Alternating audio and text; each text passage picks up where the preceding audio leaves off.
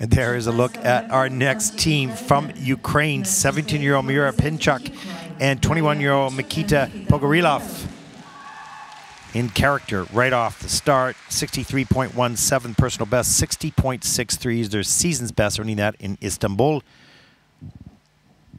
where they won that event. They'll skate to Unchained, Unchain My Heart, and You Give Me Love, a bad name.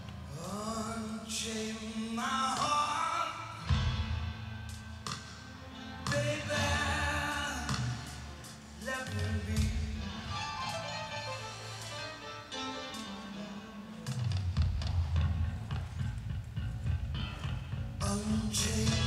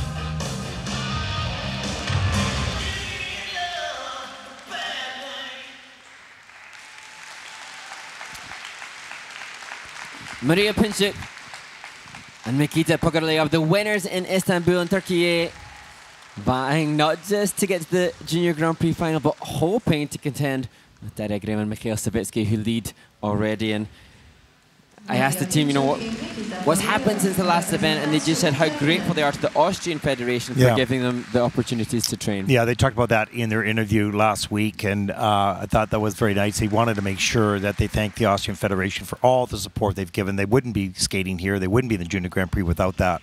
And so that was a very center on their mind, and they wanted to make Mm. sure they mentioned, which they did in that interview. And uh, Galina, who's responsible and has been responsible, as I said, for so many Ukrainian teams, and also working with a former student of hers, Maxim Nikitin, who has been with them over the last couple of weeks. He was a junior world medalist.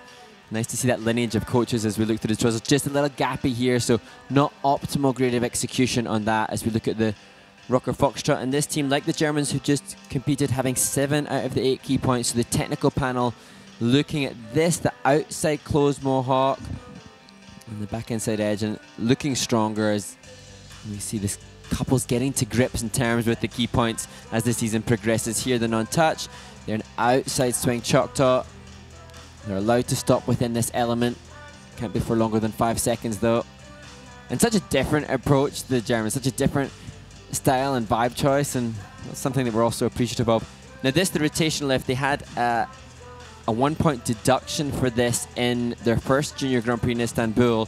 It was extended lift, so it was over the seven second marker. So they've had to go back to their training base now in Vienna and ensure that that's So the end of that lift or lifts, if they touch down, they don't have to set them down. But as long as that foot touches down, that's the end of the That's lift. so that has to be the first touchdown has to be within seven seconds. Then what's happening after that? They're using that as a feature as a difficult oh, exit. Oh, okay, got it. So, but it, that doesn't count towards the total length of time in the lift No, itself. no, but as soon as that touchdown does, that's the end of the, The lift or whatever they do. Okay, yeah, got it. Stop. Always wondered about that. Oh, you know what? It just it just came up again. Extended lift. They've had it again. Oh, Oh, man. boy, too bad. Sorry, team. Well, their personal best, 63.17. They're going to fall just a bit shy of that here. and But it's a season's best of 62.23. So that'll put Mariia and Mykyta currently into second place, but pretty close, just about three points. We saw a big six point swing last week. Yeah.